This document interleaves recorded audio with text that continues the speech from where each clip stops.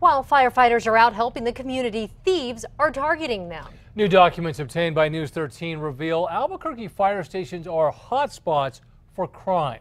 News 13's Madeline Schmidt is here with details. Yeah, Jessica and Dean, it tends to happen when firefighters are out responding to an emergency. Not only have personal things been stolen, but in one case, medicine was taken. Whether they're off to a medical emergency, fighting a fire, or even fast asleep, criminals are targeting Albuquerque Fire Department stations across town.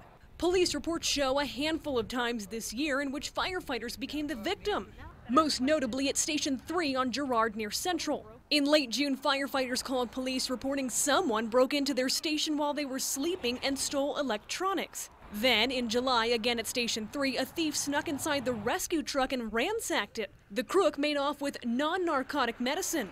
Over at fire stations 9 and 17, cars in the station lots were broken into. And because the burglar snatched one firefighter's insurance and registration with his home address, APD sent officers by his house periodically to check on it. The safety of our members is our priority. News 13 spoke with Local 244, the Albuquerque Area Firefighters Union.